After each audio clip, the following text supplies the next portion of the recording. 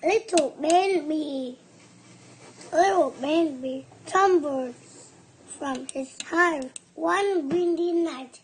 He was lost with one bent wing and not other bee in sight.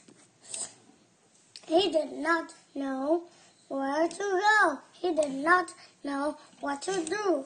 So to the shelter of my window, my little Ben Bee flew.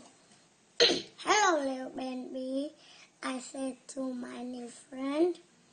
My tiny wing is injured. Can you help mend?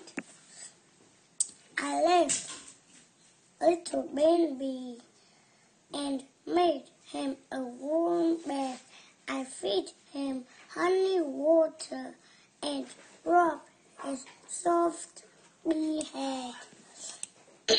Little Ben Bee was hurt, but thank goodness he was strong.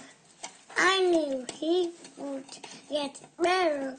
I still, still I watched him all night long. Little Ben Bee woke as the sun began to rise. He stretched his little bee body and opened his little bee eyes. Thank you for your help, he buzzed, but I must be on my way. Your friends must all be worried. I'm sorry you cannot stay.